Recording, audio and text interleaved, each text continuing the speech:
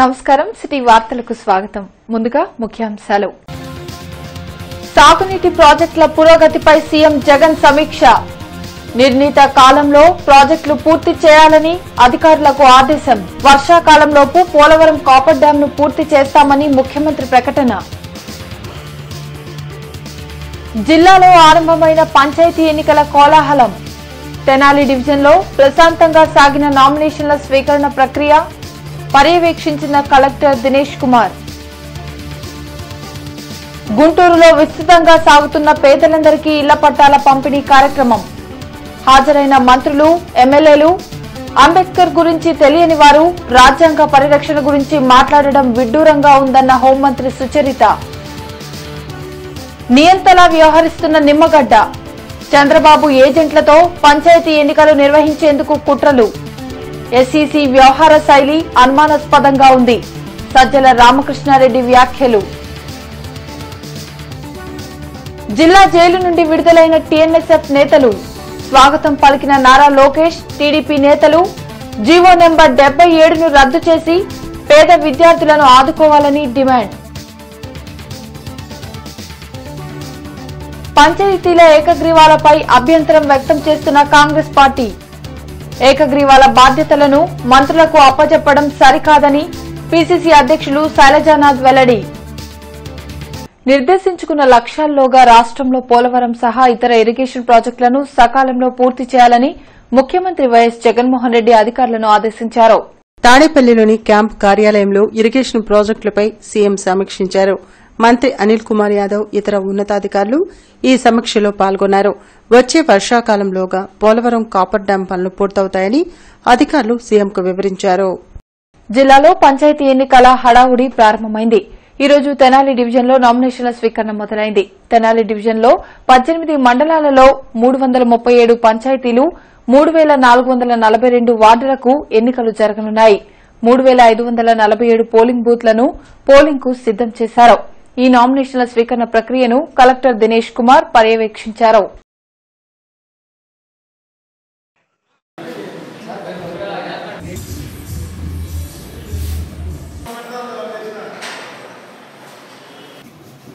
Site వెళ్తున్నాము hmm.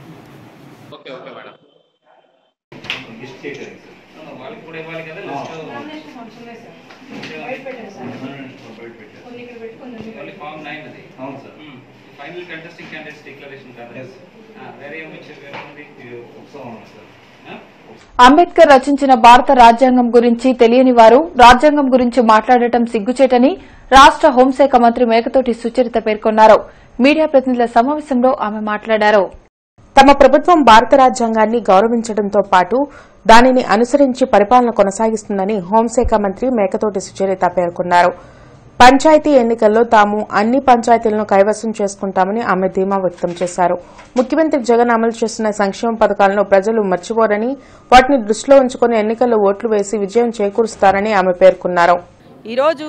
Doctor BR Ambedkar గారి యొక్క ఆలోచన విధానం ద్వారా ఈరోజు పేద బడుగు బలహీన వర్గాలకు అన్ని రకాలుగా అవకాశాలు కల్పిస్తూ మరి గతంలో ఎప్పుడూ పొందనటువంటి పదవులు కూడా ఈరోజు ఎస్సీ ఎస్టీ బీసీ మైనారిటీ వర్గాలు పొందుతున్నాయంటే ఈరోజు రాజ్యాంగ స్ఫూర్తితో పరిపాలన చేస్తున్నటువంటి జగన్మోహన్ రెడ్డి గారి వల్లనే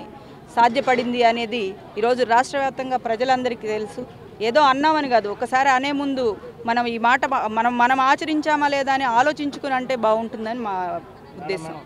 ఏ ఒక్క హామీ కూడా ఈరోజు మేము వెళ్తే మీరు ఆ మాట చెప్పారు మీరు అది మాకు చేయలేదు అనేటువంటి ప్రశ్న అయితే ఎక్కడా ఉత్పన్నం కావట్లేదు ఎందుకంటే ఈరోజు చెప్పిన హామీలన్నీ కూడా నెరవేర్చి ఈరోజు ధైర్యంగా ప్రజల ముందుకు వెళ్తూ ఉన్నాం ఈరోజు దాదాపు ఇన్ని లక్షల మందికి ఇళ్ల పట్టాలన్నది ఇది భారతదేశంలోనే ఒక చరిత్రగా చెప్పు ఎటువంటి పక్షపాతం లేకుండా ఎన్నికలు నిర్వహించాల్సిన ఎస్ఈసీ నియంతలా వ్యవహరిస్తున్నారని రాష్ట ప్రభుత్వ సలహాదారు సజ్జల రామకృష్ణారెడ్డి మండిపడ్డారు తాడేపల్లిలోని వైసీపీ కార్యాలయంలో సజ్జల మీడియాతో మాట్లాడారు ఎన్నికల విధుల నుంచి అధికారులందరినీ తొలగించి చంద్రబాబు ఏజెంట్లతో ఎలక్షన్స్ నిర్వహించాలని నిమ్మగడ్డ అనుకుంటున్నారా అని ప్రశ్నించారు గతంలో ఏకగ్రీవాలపై నోరు మెదపని ఎస్ఈసీ ఇప్పుడు అనవసర ఆరోపణలు చేస్తున్నారని విమర్శించారు రెండు వేల పద్దెనిమిదిలో ఎందుకు ఎన్నికలు నిర్వహించలేదని అడిగితే సమాధానం ఎందుకు చెప్పరన్నారు ఎంటైర్ స్టేట్ పూర్తిగా జగన్మోహన్ రెడ్డి గారికి బ్లెస్సింగ్స్ ఇచ్చి ఆయన పార్టీకి పట్టం కడితే ఎనభై ఆరు శాతం సీట్లు గెలుచుకొని మేము అధికారంలోకి వస్తే ఏడాది పాటు డిఫరెంట్ ప్రోగ్రామ్స్ టేకప్ చేశాక ఏకగ్రీవాలు అవి రావడంలో ఏమన్నా ఆశ్చర్యం ఉందా లేక ఎక్కడికక్కడ ప్రజల మద్దతు ఉండడంలో ఆశ్చర్యం ఉందా ఏం ఆశ్చర్యం ఉంది అయినా సరే ఆయన దాంట్లోకి పోదలుచుకోలే అంతా చేసి ఇప్పటి రెండు వేల పద్దెనిమిదిలో పంతొమ్మిది రెండు వేల పద్దెనిమిదిలో జరగాల్సిన పంచాయతీ ఎన్నికలు రెండు వేల ఇరవై ఒకటి వరకు ఎందుకు జరగలేదు అంటే ఎవరు దానికి బాధ్యులు ఎవరు ప్రధాన నేరస్తుడు ఎవరి మీద నింద మోపాలి ఎవరిని నేరస్తుడుగా బోన్లో నిలబెట్టాలి నిమ్మగడ్డ రమేష్ కుమార్ గారిని నిలబెట్టాలి లేదా చంద్రబాబు నాయుడు గారిని నిలబెట్టాలి ఎందుకంటే అప్పుడు అధికారంలో ఉన్న చంద్రబాబు నాయుడు గారు రెండు వేల పదమూడు ఎన్నికలు జరిగాక రెండు వేల పంతొమ్మిదిలో అసెంబ్లీ మన పంచాయతీ ఎన్నికలు గ్రామ పంచాయతీ ఎన్నికల్లో జరపాల్సిన వ్యక్తి ఈయన జరపలేదు ఎవరు చంద్రబాబు నాయుడు గారు నిమ్మగా అప్పుడు అప్పటి నుంచి చంద్రబాబు నాయుడు గారు అపాయింట్ చేసి ఏరుకోరు తెచ్చుకున్న నిమ్మగడ్డ రమేష్ కుమార్ గారు ఆయన ఈయన వచ్చిన తర్వాత ఆ రిమైనింగ్ పీరియడ్లో ఎప్పుడు ఎన్నికలు జరపాలనే ప్రయత్నము చేయలేదు ఆ రోజు ఈ రోజు హడావుడి పడినట్టు అర్జెంటుగా ప్రపంచం తల్లకిందలు అయిపోతుంది పంచాయతీ వ్యవస్థ ఏమవుతుంది అని అన్నట్టు కోర్టులకు వెళ్ళి లంచ్ మోషన్లు నైట్ మోషన్లు ఇట్లాంటివి మూవ్ చేయలేదు మొత్తం అంతా రక్షించడానికి నేనేమి పుట్టానని ఇప్పుడు వ్యవహరిస్తుంది ఆ రోజు ఎందుకు చేయలేదు ఆయన ఎక్స్ప్లెనేషన్ ఇవ్వాలి విద్యార్థులకు నష్టం కలిగించే జీవో డెబ్బై ఏడును ప్రభుత్వం వెంటనే ఉపసంహరించుకోవాలని టీడీపీ జాతీయ ప్రధాన కార్యదర్శి నారా లోకేష్ డిమాండ్ చేశారు పేద వర్గాల్లోని వారు విదేశీ విద్యను అభ్యసించకూడదా అని ప్రశ్నించారు డివోఏ డెబ్బై ఏడు రద్దు కోరుతూ సీఎం క్యాంప్ కార్యాలయం ముట్టడికి యత్నించిన టీఎన్ఎస్ఎఫ్ నేతలు గుంటూరు జిల్లా జైలు నుంచి విడుదలయ్యారు ఈ సందర్భంగా టీడీపీ జాతీయ ప్రధాన కార్యదర్శి నారా లోకేష్ వారికి ఘనస్వాగతం పలికారు ఈ జీవో వల్ల దాదాపు మూడు లక్షల మంది విద్యార్థులు ఇబ్బందులు పడుతున్నారని ఆందోళన వ్యక్తం చేశారు విద్యార్థుల సమస్యలపై పోరాటం చేస్తే అరెస్టు చేస్తారా అని ప్రభుత్వాన్ని నిలదీశారు రాష్టంలో రాజారెడ్డి రాజ్యాంగమే అమలవుతుందని ఐపీసీ బదులు జగన్ పీనల్ కోడ్ను అమలు చేస్తున్నారని మండిపడ్డారు క్రిమినల్స్ ను యూనివర్సిటీ పాలక మండలిలో నియమించడం సిగ్గుచేటని లోకేష్ అన్నారు ఈ రోజు ఆంధ్ర రాష్ట్రంలో అంబేద్కర్ గారు తీసుకొచ్చిన రాజ్యాంగం అమలు అవట్లేదు రాజారెడ్డి గారి రాజ్యాంగం అమలు అవుతుంది ఐపీసీ అమలు అవట్లేదు జేపీసీ జగన్ పీనల్ కోడ్ ఈరోజు ఆంధ్ర రాష్ట్రంలో అమలవుతుంది జగన్ రెడ్డి గారి ఇంటికి ముట్టడికి పిలిపిస్తే వాళ్ళని అరెస్ట్ చేశారు అరెస్ట్ చేస్తే కాదు జగన్ రెడ్డి గారు రేప్ చేసాం వచ్చారని కేసు పెట్టారు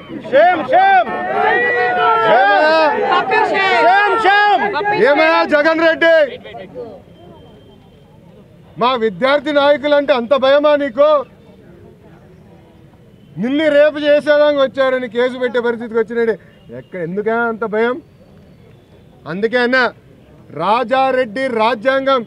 ఈరోజు ఆంధ్ర రాష్ట్రంలో అమలవుతుందని పంచాయతీలను ఏకగ్రీవాలు చేయాలనుకోవటం ప్రజాస్వామ్యంకు ప్రమాదమని పీసీసీ చీఫ్ శైలజానాథ్ అన్నారు మంత్రులకు ఏకగ్రీవాలు చేయాల్సిన బాధ్యతను అప్పచెప్పడం కరెక్ట్ కాదన్నారు పంచాయతీ ఎన్నికలను సజావుగా నిర్వహించాల్సిన బాధ్యత రాష్ట ఎన్నికల సంఘందే అని ఆయన స్పష్టం చేశారు విజయవాడలో శైలజానాథ్ మీడియాతో మాట్లాడారు కేంద్రం తెచ్చిన వ్యవసాయ చట్టాలకు వైసీపీ మద్దతు ఇచ్చి ఇక్కడ రైతులకు అండగా నిలుస్తామని మాట్లాడడం హాస్యాస్పదంగా ఉందన్నారు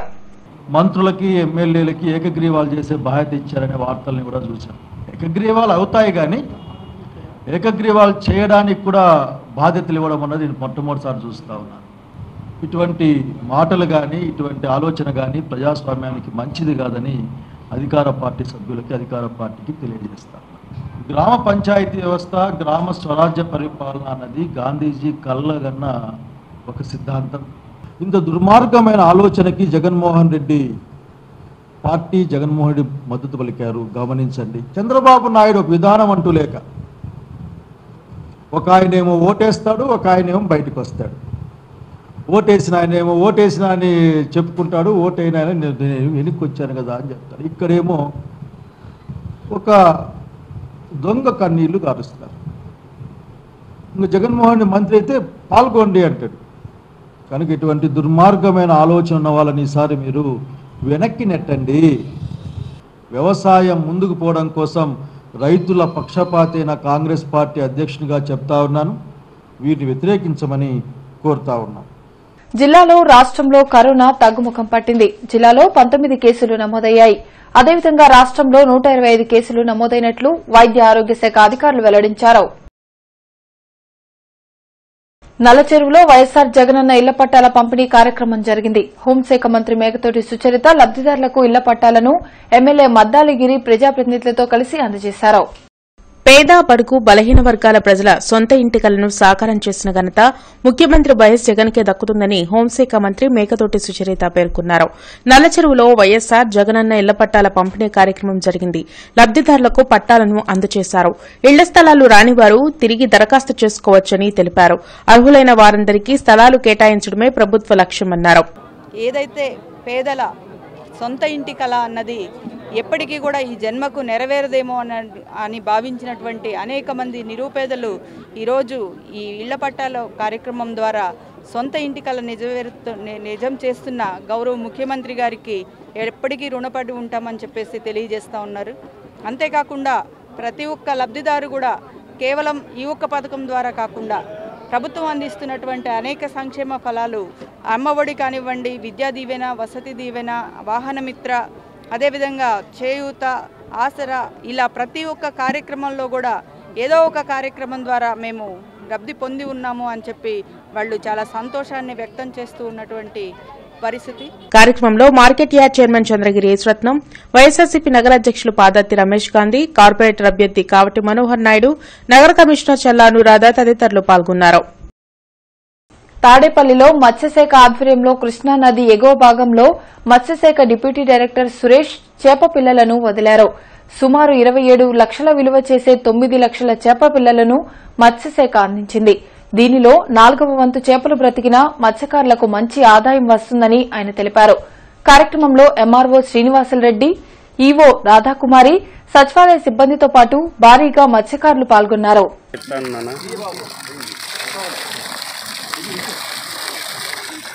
తమ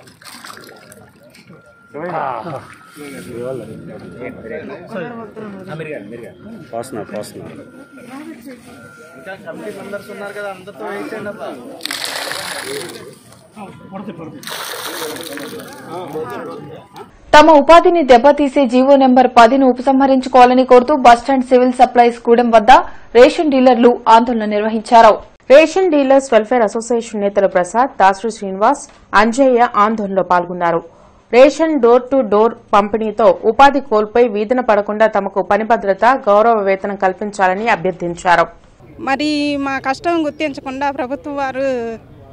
ఇంటింటికి రేషన్ అని చెప్పి చెప్పారు అయినా దాన్ని మేము స్వాగతించాము కానీ ఇప్పుడు ఈ జీవో పెట్టడం వల్ల మాకు కనీసం అద్దె కట్టుకునే ఇది కూడా లేదండి గోతాలు రిటర్న్ ఇవ్వాలంటే మాకు అద్దె కట్టుకోలేము కరెంటు బిల్లులు కట్టుకోలేము చాలా ఇబ్బందిగా ఉంటుంది అందుకని చెప్పి ఇది ప్రస్తుతం ఉన్న ఈ కొంచెం ఆధారం కూడా మా నుండి తీసేశారంటే మేము ఇబ్బంది పడాల్సి వచ్చింది రోడ్డు పడాల్సి వచ్చింది డేలలో అందుకని చెప్పి కొంచెం మా కుటుంబాలు దయించి మా కుటుంబాలని గమనించి ఆర్థిక సహాయం ఇది ఆర్థిక సహాయం అనుకుంటున్నాం మేము అలాగ మాకు సహాయం చేయమని అడుగుతాం కమిషనర్ గారిని అడగటానికి వచ్చామండి ఎమ్మటే జియో నెంబర్ టెన్ని రద్దు చేయాలని మాకు పని భద్రత కూడా కల్పించాలని ఉపాధి భద్రత కల్పించాలని కోరుతున్నాం అట్లానే మా డీలర్లందరూ కూడా ఎప్పటి నుంచో దాదాపు దాంట్లో గ్రాడ్యుయేట్లు పోస్ట్ గ్రాడ్యుయేట్లు ఫిజికల్ అండ్ ఎస్సీ బీసీ కింద అపాయింట్ ఆ రోజుల్లో మా దగ్గర ఎంప్లాయీ కార్డ్మెంట్ తీసుకొని మాకు అపాయింట్మెంట్ ఇచ్చారు డెబ్బై ఎనిమిది డెబ్బై తొమ్మిదిలో ఈరోజు మా పరిస్థితి ఏంది మా కుటుంబాల పరిస్థితి ఏంది మమ్మల్ని ఆధారపడ్డ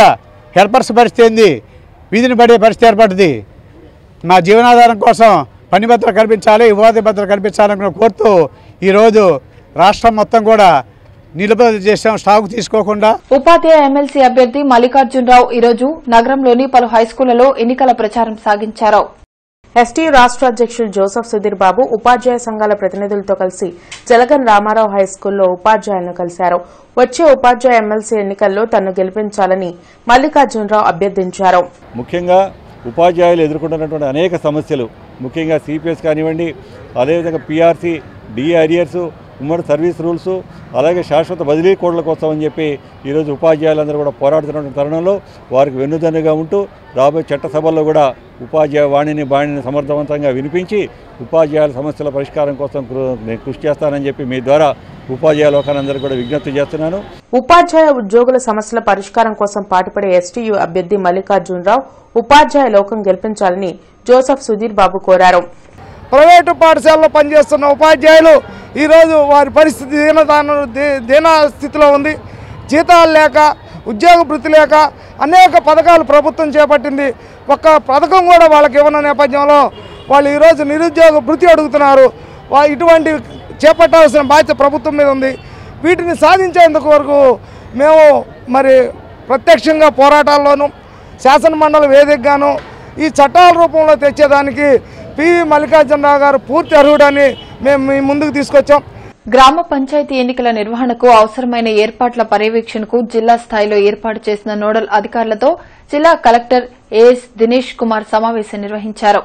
జిల్లాలో గ్రామ పంచాయతీ ఎన్నికలు సజావుగా కొనసాగేలా నోడల్ అధికారులు సమన్వయంతో రాష్ట ఎన్నికల సంఘం నియామావళి ప్రకారం విధులు నిర్వహించాలని కలెక్టర్ తెలిపారు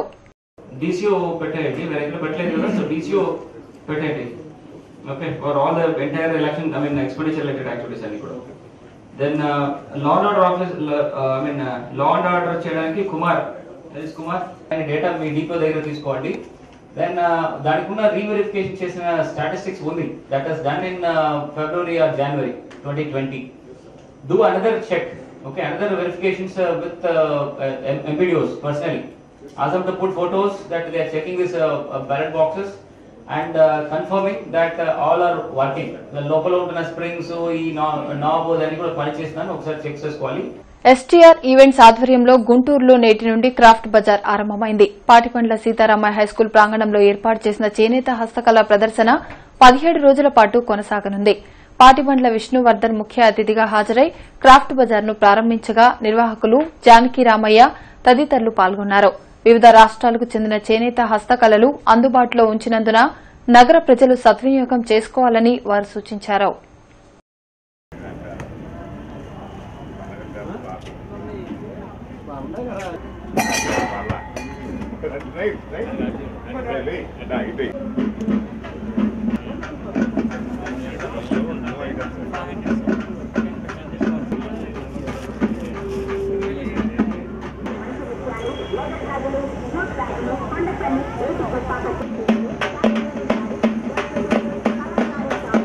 గత ఏడు ఏడెనిమిది నెలల నుంచి కోవిడ్ ఉండటం వలన ప్రజలు ఎక్కడికి బయటికి వెళ్లకుండా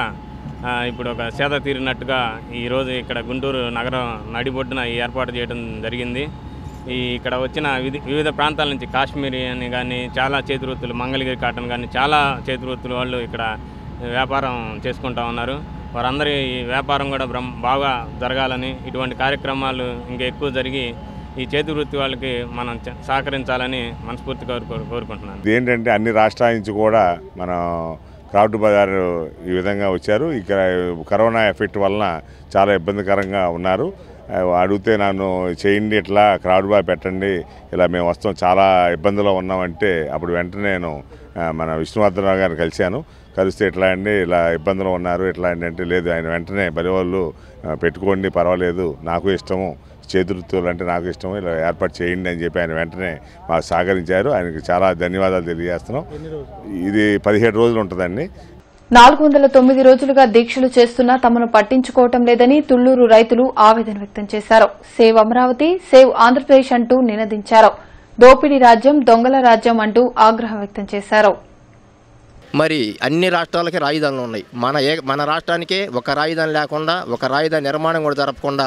మరి మూడు రాజధానులు అని చెప్పి ప్రభుత్వం కుట్రపూరితంగా వ్యవహరిస్తూ ఈ రాజధాని తరలించాలని చెప్పి కుట్ర పన్నుతుంది ఇక్కడ దాదాపుగా యాభై రెండు వేల ఎకరాల భూమి ఉంది మరి ఇది రైతులకు ఇచ్చిన భూమి పోను మరి ప్రభుత్వ అవసరాలకు పోను రోడ్లకు పోను ఇంకా కూడా పదివేల ఎకరాల భూమి ఉంటుంది ఈ పదివేల ఎకరాల భూమి లక్ష కోట్ల రూపాయల సంపద రాష్ట్ర ప్రజలందరిది మరి మీరందరూ కూడా తెలుసుకోవాలి ఇక్కడ కనుక బ్రహ్మాండమైన రాజధాని కనుక నిర్మాణం జరిగితే ప్రభుత్వం ఒక రూపాయి కూడా పెట్టాల్సిన పని లేదు మేమిచ్చిన భూమిలో ఎంతో కొంత దాంట్లో నాలుగో వంతు ఐదో వంతు అమ్మితేనే దాదాపు ఇరవై నుంచి పాతిక వేల కోట్ల రూపాయలు వస్తాయి మరి దాంతో ఇక్కడ రాజధాని నిర్మాణం చేసి ఈ పదమూడు జిల్లాలను కూడా అభివృద్ధి చేయమని మేమందరం కూడా కోరుకుంటున్నాం అమరావతిని ఏకైక రాజధానిగా కొనసాగించాలని పెద్దపరిమి రైతులు చేస్తున్న దీక్షలు నాలుగు వందల తొమ్మిదవ రోజుకు చేరాయి వికేంద్రీకరణ అనేది అభివృద్దిలో ఉండాలి కానీ రాజధానిలో కాదని రైతులు తెలిపారు వీ వాంట్ జస్టిస్ అంటూ ప్లకార్డులు చేతబోని నినదించారు సీఎం జగన్ అమరావతిని ఏకైక రాజధానిగా ప్రకటించాలని డిమాండ్ చేశారు అమరావతి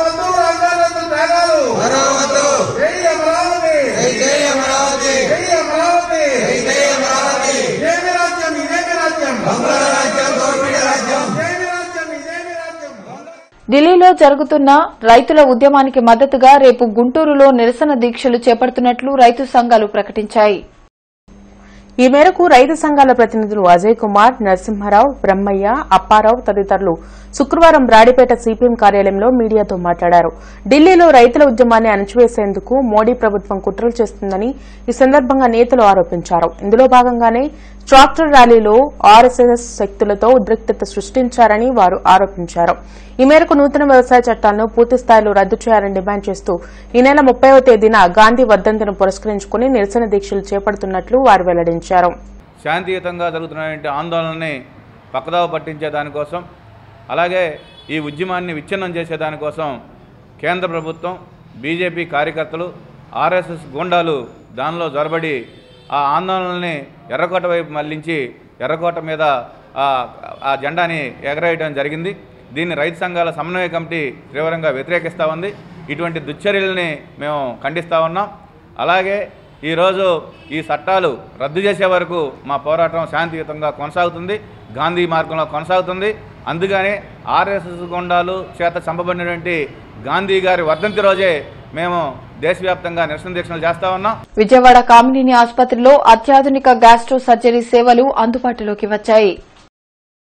ఈ మేరకు కామినేని ఆసుపత్రి సీఈఓ డాక్టర్ నవీన్ కుమార్ ప్రముఖ వైద్యులు పవన్ గణేష్ శుక్రవారం గుంటూరులోని ఓ హోటల్లో మీడియాతో మాట్లాడారు తమ హాస్పిటల్లో ఉదరకోశ వ్యాధులకు అంతర్జాతీయ స్థాయి వైద్యం బీపీ షుగర్ సమస్యలున్న స్థూలకాయలకు అడ్వాన్స్డ్ ఐసీయూ ద్వారా వెరియాట్రిక్ సర్జరీలు అందుబాటులోకి తీసుకువచ్చినట్లు వారు వెల్లడించారు క్రిటికల్ సర్జరీలు కేవలం ఒక్కరోజులోనే పరీక్షలు సర్జరీ పూర్తి చేసి రోగులను ఇంటికి పంపించడం జరుగుతుందని వారు తెలిపారు కామినేని ఆసుపత్రిలో సర్జికల్ గ్యాస్ట్రోఎంట్రాలజీ విభాగం ద్వారా అత్యాధునిక వైద్యం అందిస్తున్నందున ఈ అవకాశాన్ని అందరూ సద్వినియోగం చేసుకోవాలని వారు సూచించారు కొన్ని సర్జరీ అవసరం లేకుండా సిటీ స్కాన్ ద్వారానే కూడా పిక్టైల్స్ అని పెట్టడము పొట్టలో పైపులు పెట్టి గడ్డలు తీసేయడం ఇటువంటి అడ్వాన్స్డ్ టెక్నిక్స్ కూడా మనం రేడియాలజీ విభాగం ద్వారా కూడా నిర్వహించడం జరుగుతుంది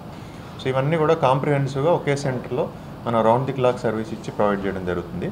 ఆల్మోస్ట్ లాస్ట్ ఫోర్ మంత్స్ నుంచి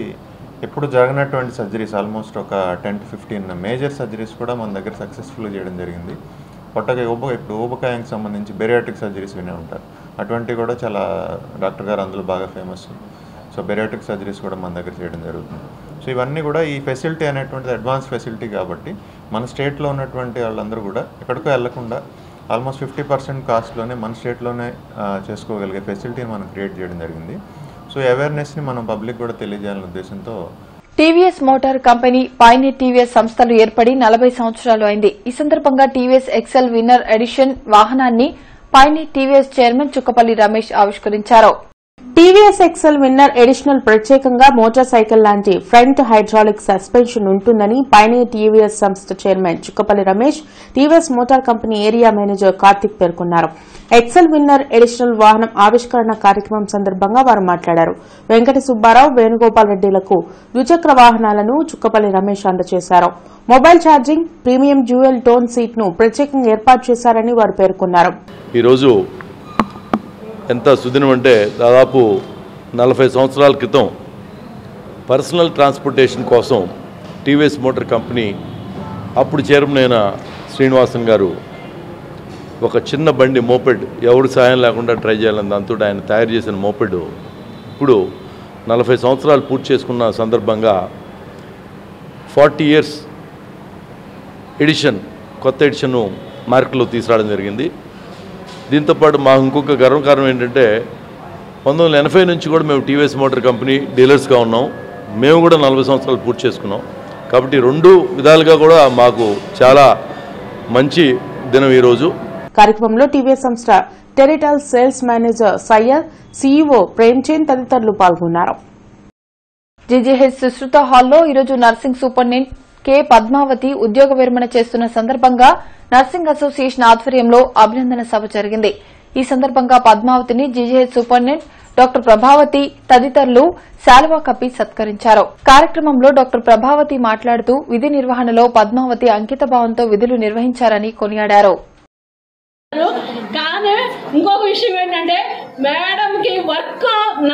ఏడవ డివిజన్ లో సైడ్ కాలువల నిర్మాణాన్ని డివిజన్ కార్పొరేటర్ అభ్యర్థి షేక్ షజీలా వైఎస్ఆర్సీపీ మైనార్టీ నాయకులు హాజీ షౌకత్ పరిశీలించారు కార్యక్రమంలో నేహా వాటర్ సెక్రటరీ హిదాయతుల్లా రామకృష్ణ తదితరులు పాల్గొన్నారు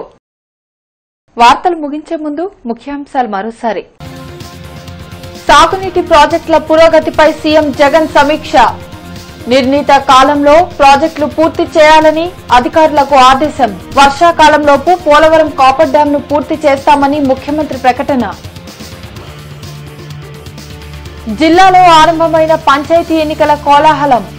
తెనాలి డివిజన్లో ప్రశాంతంగా సాగిన నామినేషన్ల స్వీకరణ ప్రక్రియ పర్యవేక్షించిన కలెక్టర్ దినేష్ కుమార్ గుంటూరులో విస్తృతంగా సాగుతున్న పేదలందరికీ ఇళ్ల పట్టాల పంపిణీ కార్యక్రమం హాజరైన మంత్రులు ఎమ్మెల్యేలు అంబేద్కర్ గురించి తెలియని వారు రాజ్యాంగ పరిరక్షణ గురించి మాట్లాడడం విడ్డూరంగా ఉందన్న హోంమంత్రి సుచరిత నియంతలా వ్యవహరిస్తున్న నిమ్మగడ్డ చంద్రబాబు ఏజెంట్లతో పంచాయతీ ఎన్నికలు నిర్వహించేందుకు కుట్రలు ఎస్సీసీ వ్యవహార శైలి అనుమానాస్పదంగా ఉంది సజ్జల రామకృష్ణారెడ్డి వ్యాఖ్యలు జిల్లా జైలు నుండి విడుదలైన టీఎన్ఎస్ఎఫ్ నేతలు